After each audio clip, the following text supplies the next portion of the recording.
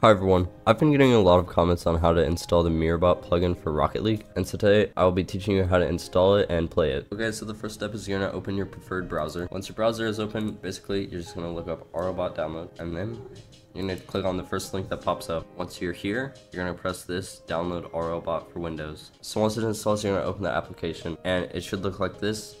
Yours would be a little bit different because I've already installed it, but basically, you're gonna follow the instructions that it says on screen and it should be downloaded. So once RLBot GUI has been installed, you're gonna open it up similar to this, but don't worry, it isn't a virus. I kind of thought it was at first, but it shouldn't be a virus. So, so once you've let RLBot do its thing, um, you're gonna come up here and press add, and then you just download the bot pack, and pretty much all of these mods and bots will be installed to your computer. So then what you do is you come to search here and look up Mirrorbot and you have Mirrorbot and if it asks you to install anything just follow the instructions and eventually it'll look similar to this where you can just add it on either team.